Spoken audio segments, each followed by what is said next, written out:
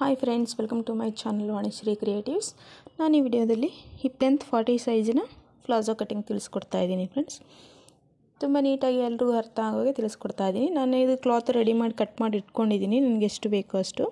Hip length forty ಇರೋದ್ರಿಂದ ನಾನಿಲ್ಲಿ twelve cut ಮಾಡ್ಕೊಂಡಿದ್ದೀನಿ. ಹನ್ನೆರಡು ಇಂಚಿಗೆ. ಕ್ಲಾತ್ ಕಟ್ ಮಾಡಿ ರೆಡಿ ಇಟ್ಕೊಂಡಿದ್ದೀನಿ. ಈಗ ಹಿಪ್ ಲೆಂತ್ ಫಾರ್ಟಿ ನೋಡಿ ಹನ್ನೆರಡು ತೊಗೊಂಡಿದ್ದೀನಿ ನಾನಿಲ್ಲಿ. ನೋಡಿ. ಅದರಲ್ಲಿ ಎರಡು ಇಂಚು ಬಿಟ್ಟು ಹತ್ತಕ್ಕೆ ಒಂದು ಲೈನ್ ಹಾಕ್ಕೊಳ್ಳೋಣ. ಓಕೆ. ಇಲ್ಲಿಂದ ಹಾಸನ್ನು ಹದಿಮೂರು ತಗೊಳ್ಳೋಣ. ತರ್ಟೀನ್ ಇಲ್ಲಿ ಕೂಡ ಹತ್ತಕ್ಕೆ ಒಂದು ಲೈನ್ ಹಾಕ್ಕೊಳ್ಳೋಣ. ಹಿಪ್ ಲೆಂತ್ ಫಾರ್ಟಿ ಇರೋದ್ರಿಂದ ಫಾರ್ಟಿ ಇಂಟು ಫೋರ್ ಟೆನ್ ಬರುತ್ತೆ. ಹಾಗಾಗಿ ಹತ್ತು ಒಂದು ಲೈನ್ ಹಾಕ್ಕೊಳ್ಳೋಣ.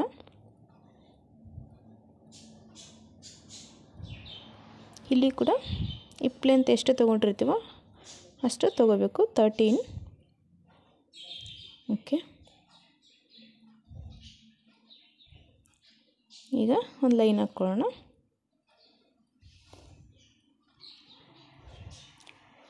ಇಲ್ಲಿ ಎಕ್ಸ್ಟ್ರಾ ಎರಡು ಇಂಚ್ ತೊಗೊಳ್ತಾ ಇದ್ದೀನಿ. ಇಲ್ಲಿ ಮುಕ್ಕಾಲು ಇಂಚಿಗೆ ಒಂದು ಡಾಟ್ ಹಾಕ್ಕೊಂಡು ಒಂದು ಕ್ರಾಸ್ ಲೈನ್ ಹಾಕ್ಕೊಳ್ಳೋಣ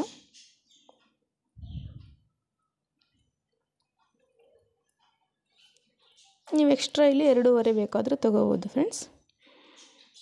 Palazzo bottom. ನಾವು ಫಾರ್ಟಿ ಸೈಜಿನ ಇಪ್ ಲೆಂತ್ ಫ್ಲಾಜೋಕ್ಕೆ ಒಂಬತ್ತು, ಹತ್ತು, ಹನ್ನೊಂದು ತೊಗೋಬೋದು. ನಾನಿಲ್ಲಿ ಹತ್ತು ತೊಗೊಳ್ತಾ ಇದ್ದೀನಿ. ಓಕೆ. ಅಲ್ಲಿ ಒಂದು ಲೈನ್ ಹಾಕ್ಕೊಳ್ಳೋಣ. ಓಕೆ.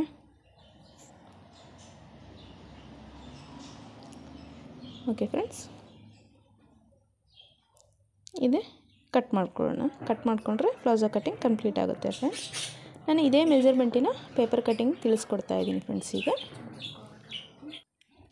ಆ ವಿಡಿಯೋ ನೋಡಿ, ನಿಮಗೆ ನೀಟಾಗಿ ಇನ್ನೂ ಅರ್ಥ ಆಗುತ್ತೆ. ನಾವಿಲ್ಲಿ ಒಂದು ಅರ್ಧ ಇಂಚು ಎಕ್ಸ್ಟ್ರಾ ಕ್ಲಾತ್ ಕಟ್ಟಿಂಗಿಗೆ ಲೈನ್ ಹಾಕ್ಕೊಳ್ಳೋಣ. ಅವಶ್ಯಕತೆ ಇದ್ದರೆ ಮಾತ್ರ ಇದನ್ನು ಅರ್ಧ ಇಂಚ್ ಹಾಕೋಬೋದು.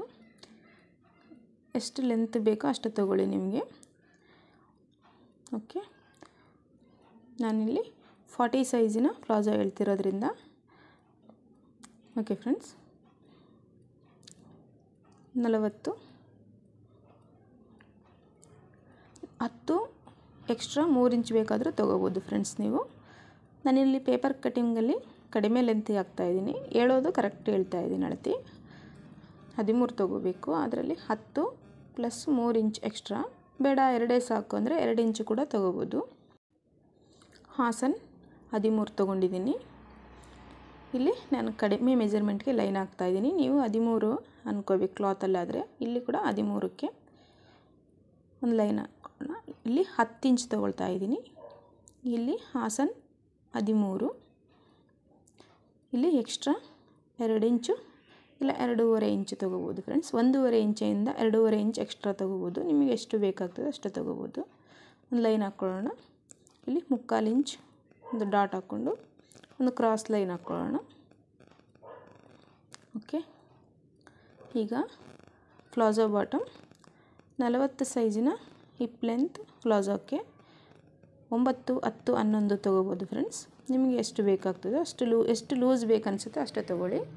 ಈಗ ಒಂದು ಲೈನ್ ಹಾಕ್ಕೊಳ್ಳೋಣ. ಓಕೆ.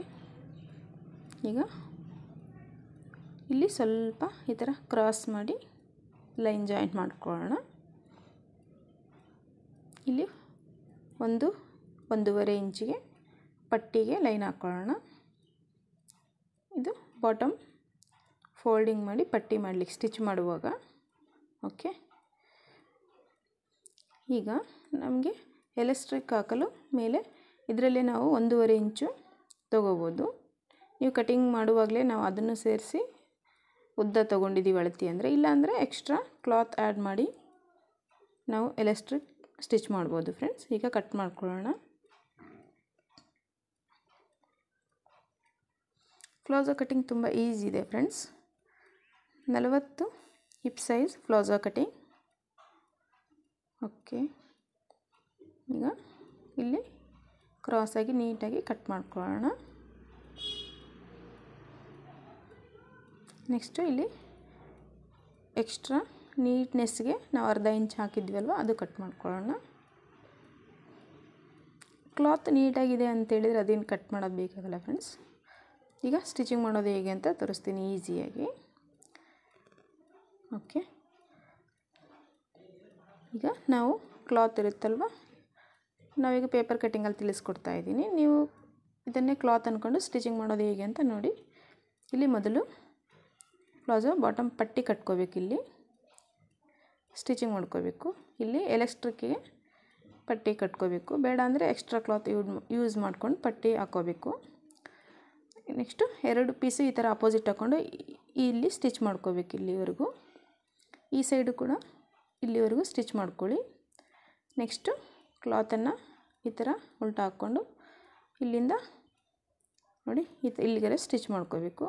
ನೆಕ್ಸ್ಟ್ ಹಿಂಗೆ ಯು ಶೇಪಲ್ಲಿ ಸ್ಟಿಚ್ ಮಾಡಿಕೊಂಡ್ರೆ ಫ್ಲಾಜೋ ಪ್ಯಾಂಟ್ ಸ್ಟಿಚಿಂಗ್ ಕಂಪ್ಲೀಟ್ ಆಗುತ್ತೆ ಫ್ರೆಂಡ್ಸ್ ಈ ವಿಡಿಯೋ ನಿಮಗೆಲ್ಲ ಇಷ್ಟ ಆಗಿರುತ್ತೆ ಮತ್ತು ಅರ್ಥ ಆಗಿರುತ್ತೆ ಅಂದ್ಕೊಳ್ತೀನಿ ಫ್ರೆಂಡ್ಸ್ ತುಂಬ ಸುಲಭವಾಗಿ ಸಿಂಪಲ್ಲಾಗಿ ಫಾರ್ಟಿ ಸೈಜಿನ ಫ್ಲಾಜೋ ಕಟಿಂಗ್ ತಿಳಿಸ್ಕೊಟ್ಟಿದ್ದೀನಿ.